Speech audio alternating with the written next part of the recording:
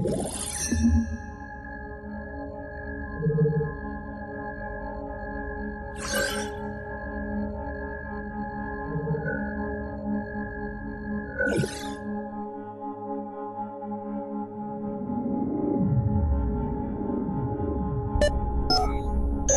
a lot of things we don't pay attention to, but not because we're stupid, but because we're busy.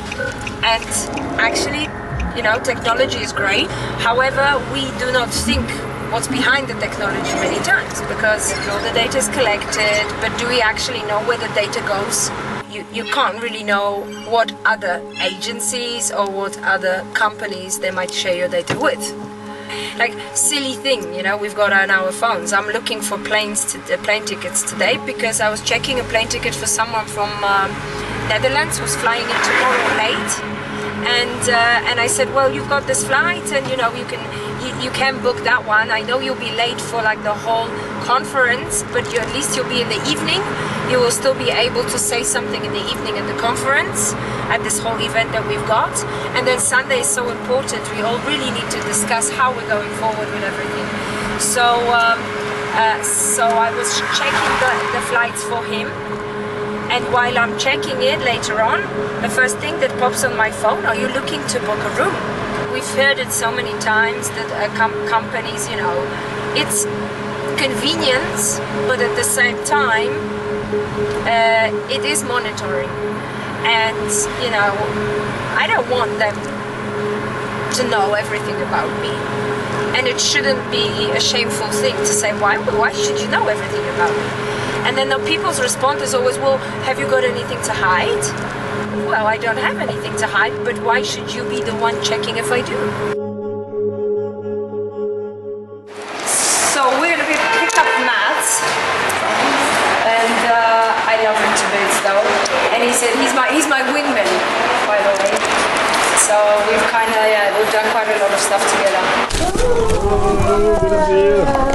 Yeah, How was it? it was good. Yeah, it's easy. Yeah. Yeah. Yeah. No mask. No mask, no. No.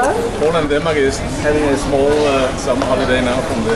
For how long? I think they're gonna last all, all winter, Yeah. so they can. Uh, yeah, because they, I think they want to put in all the digital stuff now, right? Yeah.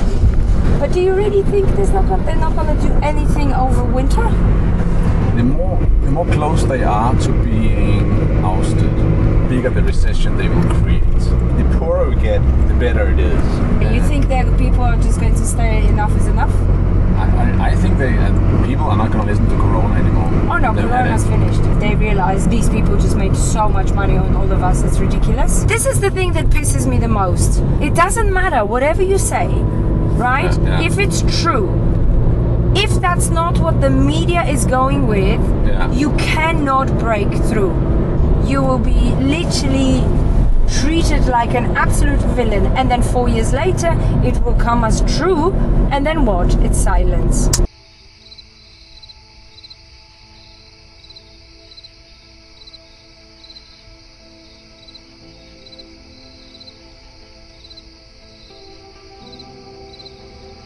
Arturo. Mm-hmm. Italian. No. Arturo. Nie, Artura nazwałam ze względu na króla Artura, Kinga Oh, King Arthur. Jestem The król King Arthur. That's what exactly. said. Lancelot. Yes. Jestem król Artur. Okay. send Occasionally not. Okay, one off. Because in America it will be 11 o'clock morning, while here it will be s- 5 in the evening. Yeah, Siri, Hawaii or something. please tell me Yeah. where is 11 o'clock when it's. Oh, I don't think Siri would know that. This is my. This is, this is how my mind works at midnight after being a taxi driver. Oh, sorry. A little sound phone. Yeah. I'll be the voice of reason. Oh yes, and you say goodnight. Fuck home. Yes. Uh, yeah, I need to because I need to go and pick up somebody in the morning. Guys, please throw her out. Yeah, you buy slow now. Musisz pierwsza. Yeah, in German. German spot. O, i Chris. Matt, you know where you're sleeping? Yeah. Yeah,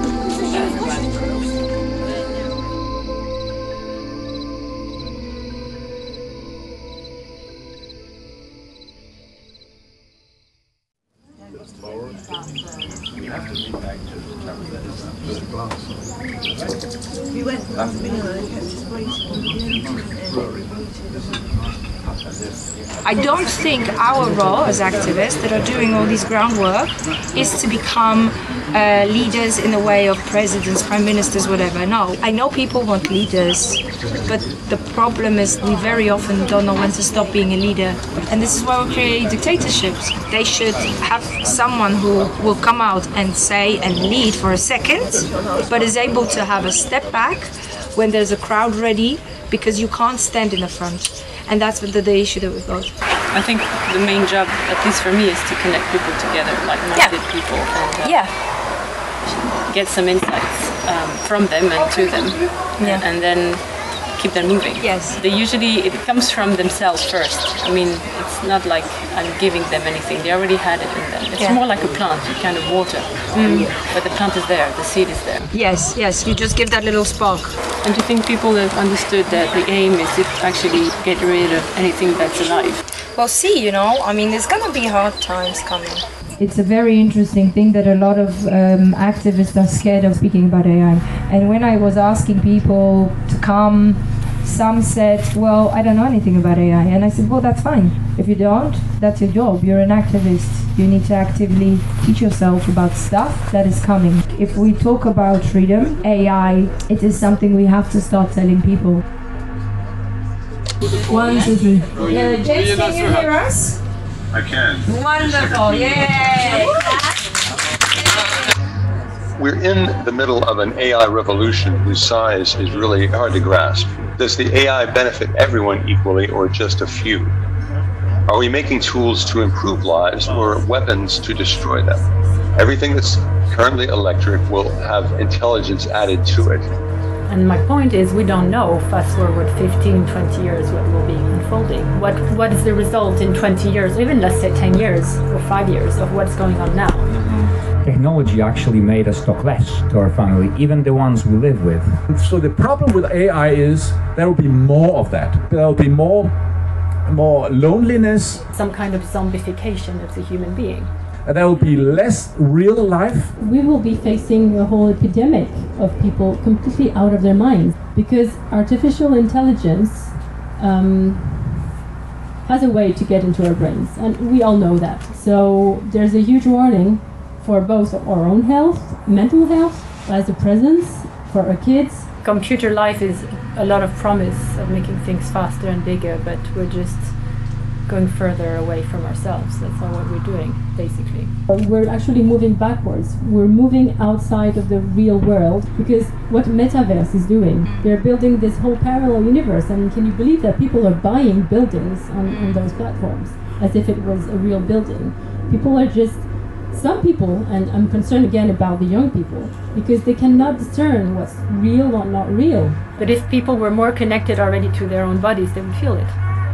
And it is proven that the IQ has been lowering. They gave the power to the cell phone. Because, you know, Google can answer everything. There is a little tiny class of 1% that are allowed to learn to think the- for themselves, to study and find out what the real solution is. In the, in the, in the, the super, super uh, elite schools, they learn trivium.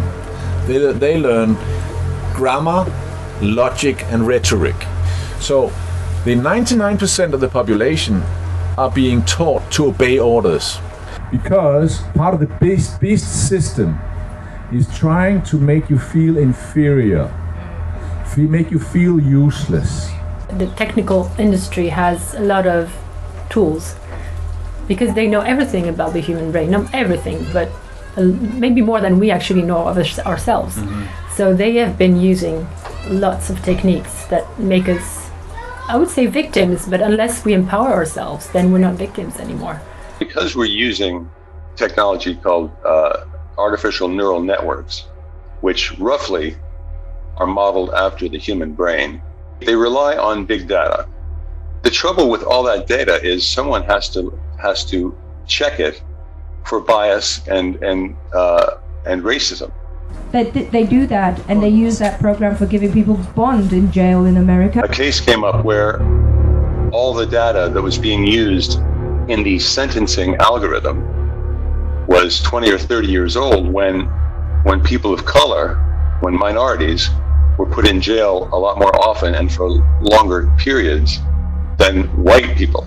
and uh, the computer, the AI that they use, the system, has came up with the answer that, well, white people are less prone to commit crime, so we'll give more bond to, we'll let out the criminals who are white. And it's the same with CVs. When the AI program was scanning the CVs in America for a job, it's um, automatically rejected the Mexican names. This is happening right now. Amazon just killed an algorithm that for for hiring people because it was bias against women. 30% of all jobs will be taken by AI and automation by 2030. Anything that's repetitive or routine, from factory work to driving cars and trucks, is going to be replaced. It's going to be automated. People stand to make a lot of money from that automation, but nobody really has a plan for retraining the people who are employed. I was browsing through internet and I saw Elon Musk, of course everyone and of us know him, and he was on a meeting with a sheikh. So he was talking about uh, creating this minimum wage income, right? And the sheikhs were saying, why we should pay to the people uh, who cannot, who do not work. Elon Musk said at that meeting, you know, I'm creating automa- automated trucks. They will be ready in 18 months. That was over two years ago. Probably COVID changed that they will not be able to change the job. We have to provide for them. And for me, one of the things is the One Health. I think a lot of people realize that the WHO wants to have a One Health program. And of course, it looks pretty and it looks like, oh, it's for the planet and it's One Health of planet and One Health for animals and One Health for free for people. So while we know that this is going to happen, there's there's a little bit more stuff to it. So, for example, you know, you will not need a doctor. Hmm. Why would you need one? You can have an AI doctor. And these won't be your doctors who will take away your job. That's not how they're saying it.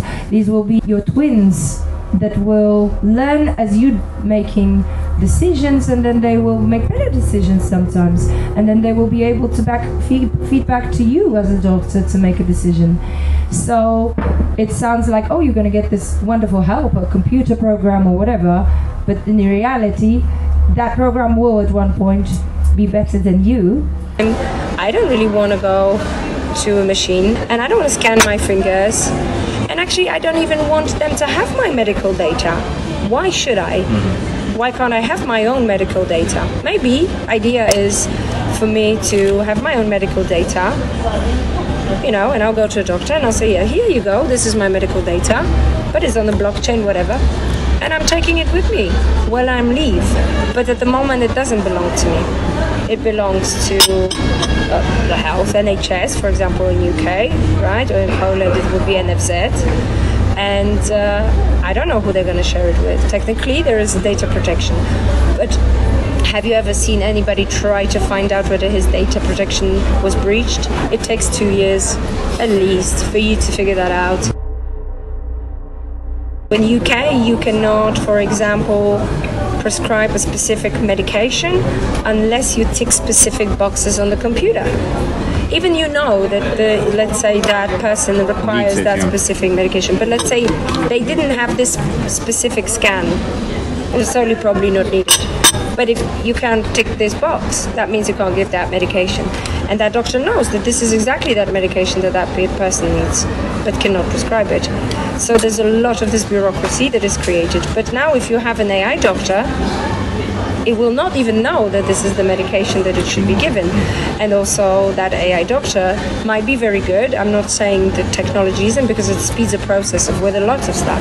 But at the same time, there's so many dangers to the stuff that is being put in place. And it's taking away the decision making process from the real experts, so to call it, uh, you know, the one who really uses their brain and thinks and cares for the other person. And we're losing a lot of doctors because they don't agree with what they're being told that they must say. The program has got an algorithm created by, for sure, Big Pharma, for sure the guys that want to sell us specific medication and drugs. I can also say that a lot of these organizations have got conflicts of interest, and they do. They have massive conflicts of interest. If an organization that says to you that she's going to be keeping you healthy and safe is making money on making on on keeping you safe, then that is just a conflict of interest. We all looking into the WHO like this. Um, organization that is almost a governmental one, but it's not, right? It's not. It's just an advising body. Technically, it's supposed to give you advice, and you may take it or you may refuse. Uh, but imagine anybody who would say, "Oh well, I don't agree with the WHO," they'll be villainized, and yet the WHO. Almost half of their funds that they got is from private corporations. Today's war machines are designed like humanoid machines. They can have a, your movement, the major body movement of a human being into the program. So this machine shoots in seven places where could you possibly be. It shoots where you stand, it shoots where you could move or avoid it. These are machines that kill without a human in the loop. I have no doubt that they're out of the factory and on, on, on battlefields right now.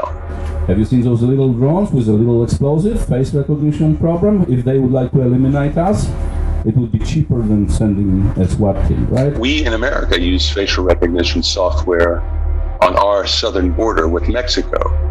When people are brought in, they're photographed and they're tracked. We use it in our airports all the time. I, I no longer need a ID to get on a plane. The computer looks at me and says, I am or I'm not James Barrat and just lets me on. They're putting up they're putting up surveillance cameras everywhere. I mean, this is something we would have thought would be unthinkable 30 years ago. Every single activist that arrived, that, that none of them had their passport checked, and even for UK. I swear, I've never flown to Poland without my passport being checked on the border. And in England, per, per capita, per person, there are more more cameras now in England than in uh, than in China. But it doesn't matter who's who's biggest, right? It's just big, right? AI is used for surveillance around the world. In China right now, the Uyghur ethnic minority, as you probably know, is is is has been put in a, a vast prison camp of about a million people, and they track Uyghurs across the country through facial recognition software. It's a tool for oppression in another way. I mean, for instance, in France, there has been some kind of a law, I think, that says that you're not, you shouldn't be prepping or buying some kind of material, which I think is totally insane. Because if we want to prep, we should be able to prep. There's no reason for that. Yeah. Um, they're, they're even talking about this Visa Mastercard with a carbon print tracking. So it could mean that after some time, if you've been buying too much prepping stuff, you're labeled as a prepper, and then you're probably someone who knows too much because why on earth would you prep? One day, for example, there would be a law that would say that you can only go as far as five kilometers and do shopping. So you would leave your five kilometers perimeter and tap your card because you wanted to have a coffee, and the machine would say, "You're not in your parameter. We can't sell you this." There is no limit until we put a limit to it. There will be a step that we will take right now because it's so quickly going that will be too far and you can't go back. You can't go back. And to, when we stop, we need to figure out exactly what you've asked. Who would be the people that should be looking at doing it? In what way? Because the biggest danger of technology is man because it's us who has the control of going further to use it for the good or for the bad. Is AI going to be in the next 10 years real AI? Or will it be AI that the people that we've currently got in power are the ones who are responsible for creating Well, I the, think the algorithms for it? It's, it's about who controls the tools. If we had an open source AI that was totally transparent, uh, maybe we'll be fine. But uh, we all know how who is financing it, and um, it's it's probably going to be used for control as it is now. We can see what uh, Facebook and Twitter have done. They just blatantly, flagrantly, just broke the constitution without repercussion. If we don't stop that, then uh, it does not look very good for the AI because that means that we will just have more indoctrination and more censorship, more Bolshevism, more technocracy. So again, how do we get from merely questionable applications in AI to AI that can overwhelm mankind? It's it's through an idea called the intelligence explosion.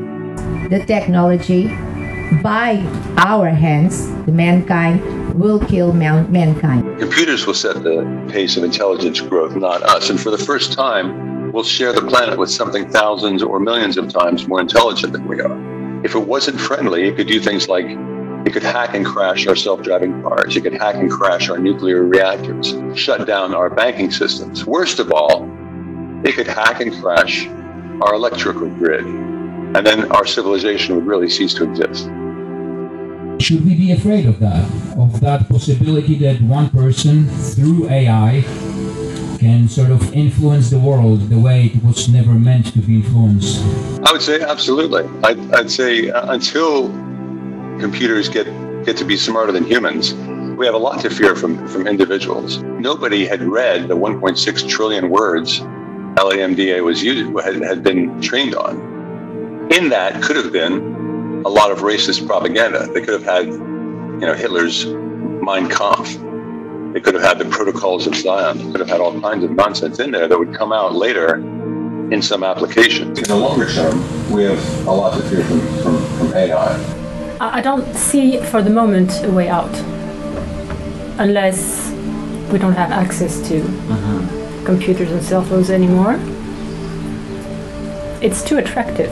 We all know we like sweets, we like fun things, and it is very attractive. So It's so sweet. And the kids, for kids, it's brilliant. If you tell them they can pay just by swiping their hands, and that's the problem. They will love it. Humans are not grown up enough. We're still like five, and they gave us a to play with. car key. Let's just stop and say we have enough enough technology already. You can't stop that train. Uh, these companies are making too much money. what we can do. My idea was very utopic to, uh, let's say, inspire people to use technology to create new system for ourselves. But it's very hard without sufficient uh, human capacity and money resources to create something to compete with Microsoft, IBM, all big big players. So now in this position where we are, it's I don't know on which level we should look for the solution. Yes. And the short answer is regulated. Going back to the, the roots, the constitution, human rights, and have a, di- uh, as decentralized a society as possible with as little government as possible, as few technocrats as possible, give people as much power over their locally, local life as possible. People know best what is best for them, not some technocrat in the, in the, in the big city. the dangers are more not in the technology itself because I do appreciate that it helps us. I mean, we're here today because of it, but I'm more, more worried about whose hands we put these systems in. Because we know from the last two years We're tackling the, uh, the, the, the problem of power grabbers at the moment who already are grabbing the power. And then while they grabbed it already uh, they're gonna i think create something very dangerous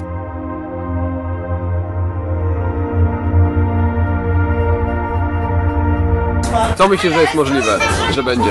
Roboty zawładną ziemią. O, co będą takie roboty robić? Torturować ludzi. They're gonna torture people.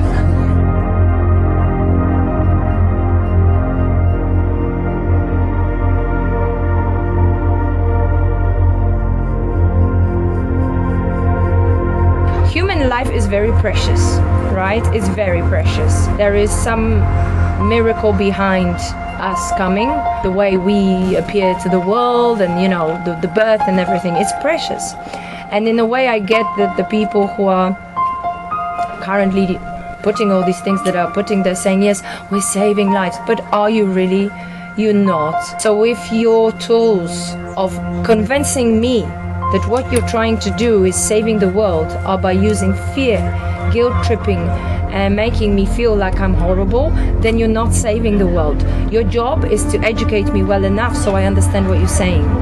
And if I have a different opinion, then I should be able to speak and say that my opinion is different. But you, your job is to raise my awareness to the level that I understand why you're telling me that you are correct.